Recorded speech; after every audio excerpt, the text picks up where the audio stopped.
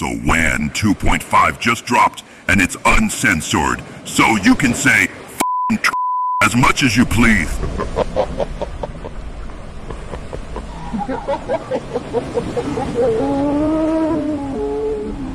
So the intro you just saw was generated using WAN 2.5, which a lot of people are calling the Veo 3 killer, but is it really true? First of all, let's talk about why WAN 2.5 is a big deal. It features native audio generation, so we're talking sound effects as well as speech. You're able to generate up to 10 seconds of footage at 1080p resolution. And of course, it features the option of image to video like Veo 3, so you've still got that level of control. In terms of applications, the sky really is the limit. We can create speaking content and product ads. It's able to carry out some really quite complex prompts, and I think what's going to attract a lot of people to this tool is the fact that it's uncensored meaning you have a lot more creative freedom in terms of building out your scene. You can use a celebrity's likeness, for example, or you can even swear, like you saw in the intro. I've been testing out WAN within Higgsfield, and they've got an option for unlimited generations if you're on either the Ultimate or Creator plans and also daily free runs for all plans as well. So it's a really great time to hop on and do some testing if you're interested. Of course, if you guys did want to go ahead and check it out, be sure to click the link down below in the description. And you can see they've got a section for their favorite WAN 2.5 generations created by the community. So I thought we would start by taking a look at some of these. And then I'll run you through the workflow I use to create the intro. I'm immediately drawn here to this clip of Dumbledore with the iPhone. I was actually watching Deathly Hallows Part 2 last night.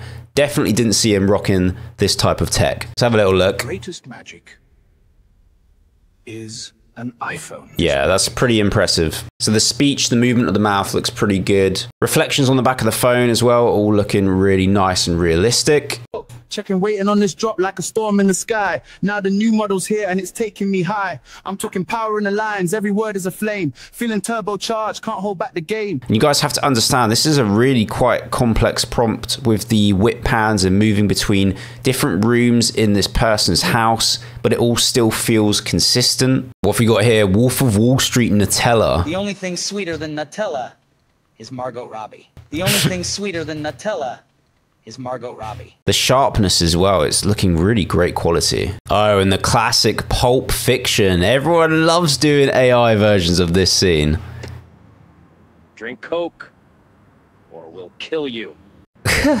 Fully knocking the pistol out of frame with a can of Coke. So what's, is this a scene from, this is from The Revenant, right? And right now, all I need is Jack and Sydney Sweeney. Some really quite impressive outputs here from WAN 2.5. And you can really see the variety of content that you're going to be able to create with this tool is pretty versatile, isn't it? With that being said, let me just quickly run you guys through the process for how I created the intro for this video within Higgsfield using WAN 2.5. So back on the homepage here for Higgsfield, if we go up to the top left hand corner to the image tab, we can go down to create image. And you can see a whole load of images I've generated here. You've got access to multiple different tools including Higgsfield Soul, their own image model, Nano Banana, Seedream 4.0, and Flux Kontext Max. Now, the character from the intro was generated using Nano Banana and actually a really simple text prompt. I just put in a humanoid whose skin is cracked geode glowing purple from within, wears simple tattered orange monk robes, sitting in perfect meditation on a cliffside with storm waves crashing below.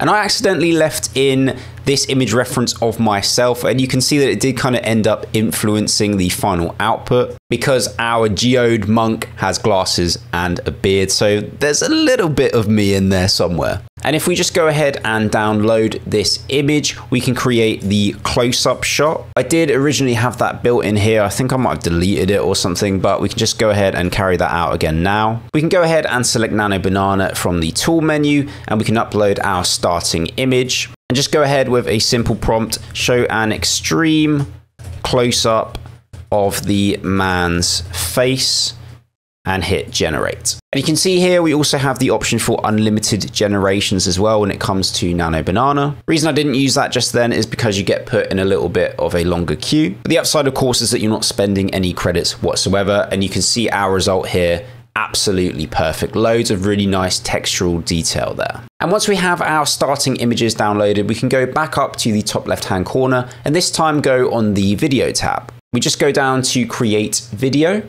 the very top, we want to select general. We can go ahead and upload our starting frame. We want to fill in our text prompt. And if you did want to reuse a prompt from a previous generation, you can simply go over to the right hand side and click on it, and it's going to populate this field. Now you also have the option for enhance on or enhance off. Really, this is tailored towards your use case. If you've written out a text prompt which is very specific and you know exactly what you want to get back from WAN 2.5, you're better off leaving enhance off. But if you want it to have a little bit more free reign, it's going to analyze the image and kind of help to flesh out your prompt with more detail. Of course, here we can pick from a wide variety of video generation models. We've got WAN 2.5 and WAN 2.5 fast. You're to get better quality results from just base 2.5, but with fast, you're going to get your generations that much quicker. We can then select the duration that we want. We can go 5 seconds or 10 seconds. Veo 3 only goes up to 8 seconds, so do keep that in mind. And then we can also select our resolution going all the way up to 1080p. Only thing with this is if we did want to use the unlimited generations, we would have to stick to 720p. And with that, you can see here, we've got the option to toggle on and off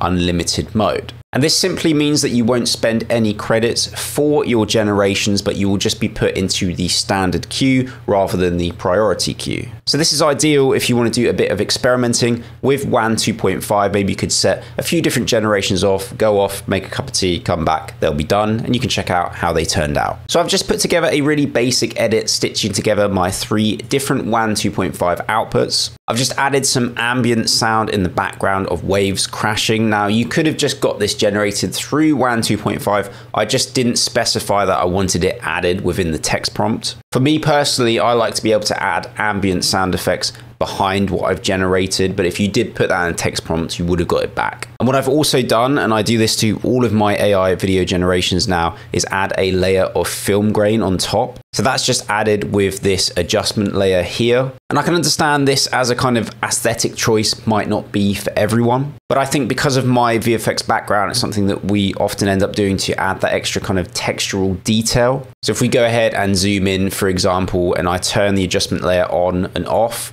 I don't know, just adding that film grain for me just instantly makes it feel more real and a little bit more premium as well. That being said, we'll go ahead and watch this in its current state. So WAN 2.5 just dropped and it's uncensored, so you can say as much as you please.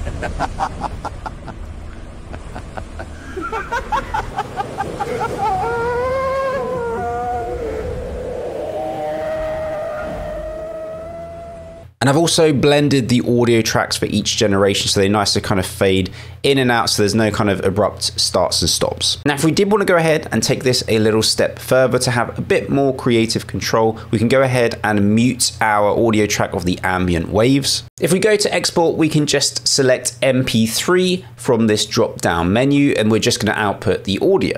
So here we are over on ElevenLabs. And if we go to the top left hand corner now, we can select voices. And over here, we can select create or clone a voice. And here it gives us the option to design an entirely new voice from a text prompt. So we're going to select that option. So I'm just going to put in the prompt a deep, booming male voice of an ancient mystical monk. Voice is gruff as if he's in his 50s. And we'll hit generate voice. And we can go ahead and listen to what we've got back. Greetings, Seeker. It is good to see you. Sounds pretty bang on to me. Let's listen to voice two. Greetings, Seeker. It is good to see you. Like that one. More reverb on The this. path you walk is long. Let's listen to voice three. Greetings, Seeker. It is good to see you. A little bit too aggressive, that one. I'm going to go for voice two. I'm going to call it our geode monk. And then within language, we want to go ahead and select English and we can save our voice. Now, if we go over to the top left hand corner and select voice changer, we can drag and drop in our exported MP3 from Premiere Pro. So WAN 2.5 just dropped and it's uncensored, And on the right hand side, we can select our Geode Monk from the voice options. Then we go ahead and click generate speech. And that came back really quickly. Let's have a listen to our results. So WAN 2.5 just dropped and it's uncensored. It's done a really great job. Let's go ahead and get that downloaded. Heading back to Premiere Pro, we can get that audio imported and we can drop it onto our timeline. So we can mute our old audio track where we had the kind of more high pitched voice tone. So WAN 2.5 just dropped. Which just doesn't really suit that character, I think. So getting that muted, we can swap in our new audio track and it sounds like this. So WAN 2.5 just dropped and it's uncensored. And you can see that by combining these multiple tools, it just gives us that little bit more control of our final output. I really do hope you guys have enjoyed today's video and learned a couple of bits from it. Do let me know down below in the comment section if you have any questions whatsoever, and of course, how you're getting on with WAN 2.5. If you have enjoyed today's video, make sure to whack a like on there for me. Consider subscribing if you're new, and of course, ring that bell notification icon so you never miss any future uploads. I'll catch you guys in the next one.